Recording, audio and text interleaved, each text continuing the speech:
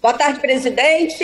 É, eu gostaria de falar em relação a essa medida provisória, que eu concordo em gênero, número e grau, que realmente a Polícia Militar e o Corpo de Bombeiros têm que ter salários dignos, porque na realidade, no país inteiro, né, nenhum deles tem um salário à altura do trabalho que eles desempenham.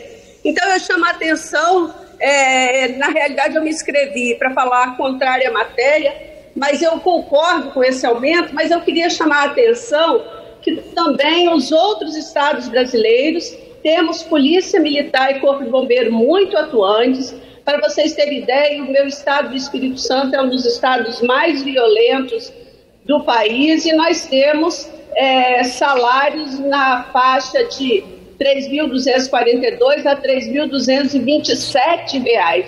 Então, bem abaixo do salário do Distrito Federal, que vai ter esse aumento que eu, eu acho justo, mas também nós, parlamentares, temos que olhar para todos os policiais militares e, e policiais do Corpo de Bombeiros do Estado, do, do Brasil todo. Então, me inscrevi para falar ao contrário, mas de acordo com as justificativas, voto sim favorável a esse aumento, mas chamando atenção para os salários dos outros estados. E, e meu estado do Espírito Santo está com salário bem defasado, sendo um estado bem violento. Muito obrigada, senhor presidente.